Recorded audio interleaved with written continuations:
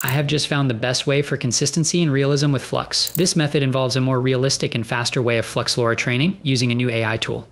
With this same tool, you can do image to image transformations with your LoRA, which is 10 times better than normal face swap. This means if you like any picture, you can recreate that same picture, but for your AI influencer. Another great feature is that you can make your influencers make any facial pose you want, which is extremely useful. Let's get started. Don't forget to subscribe to my new AI channel focused on free AI tools and AI influencers. Now, the goal is faster flux training and achieving better consistency. For this, there's a new tool, as I mentioned earlier, which is far better than other tools like Tensor, in my opinion. On any Google Chrome tab, search for OpenArt AI. You should see this interface. What I love about OpenArt is that it offers a wide range of absolutely huge options. Aside from ultra-fast LoRA training and image to image with your LoRA, they've got even more tools tailored for AI influencers and AI artists. For example, you can remove backgrounds, change facial expressions, apply AI filters, or even do sketch to image conversions. But these are just the tip of the iceberg. For more, we can go here to the app section. You'll see there are many tools here to try out. If you go to models, you'll find a variety of models in LoRA is perfect for AI influencers.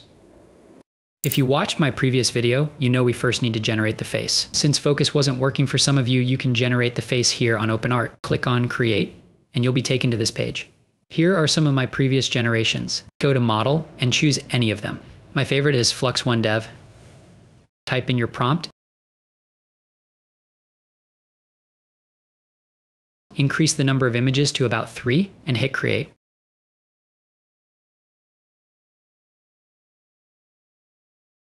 As you can see, it barely took any time. These are the results ultra realistic. We can improve them by clicking on Auto Upscale, selecting Refined, and adjusting the settings slightly. Then click Create. Once it's done, take a look. You'll notice more details added to the images.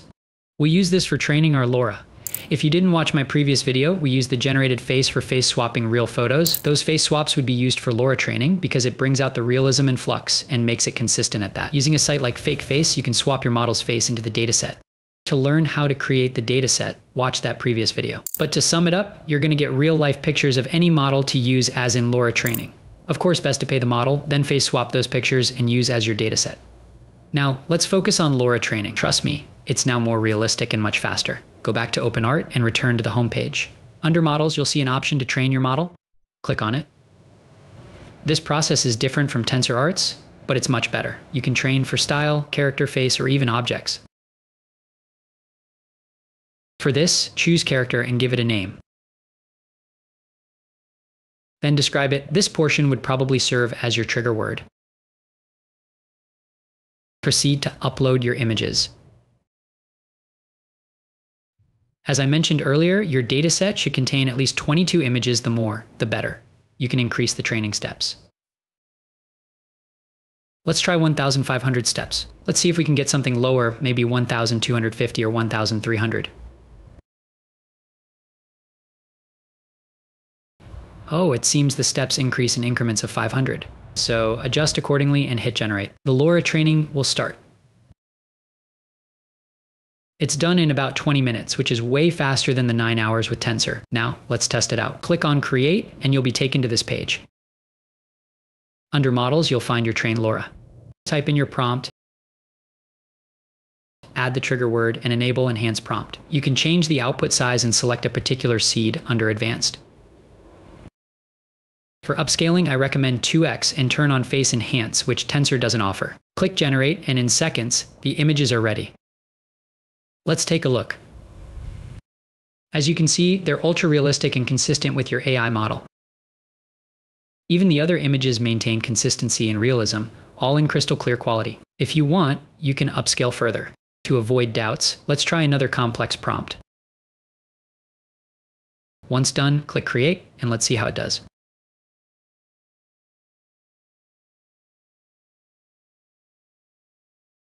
It's done, and the results are amazing. The images maintain absolute consistency in both facial and body features. They're also realistic and generated in literal seconds. Now, let's try image to image transformations with our LoRA. So go here, upload a picture you like and generate something similar. To test this feature, I uploaded a man's photo. Scroll down and click Generate Prompt.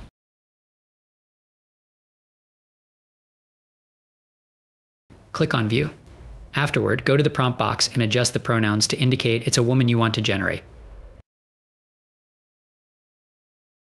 When done, scroll down, ensure everything is okay, and click Create. Take a look, it's a perfect match. The generated image looks exactly like our model and closely resembles the input image. Notice the original image was of a man, yet OpenArt transformed it beautifully. With this, you could easily do face swaps, and all the variations are top notch and perfect as well.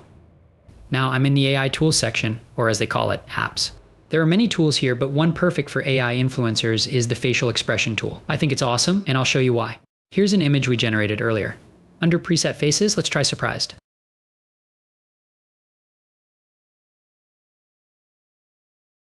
It's done, and you can see it did a wonderful job. There's no morphing or blurring. You can download the result. Let's test another one, maybe wink this time. As you can see, another great result. It captured the expression perfectly. You can upscale or style it further, which is really cool. You can also in-paint. Simply brush over an area, for example, this neck. Then under this prompt section, simple type in what you want, for example, necklace. It works flawlessly. OpenArt is like TensorArt but on steroids, streamlined and feature packed. That's it for this video. If you want to learn more about dataset collection, watch my other video on the topic.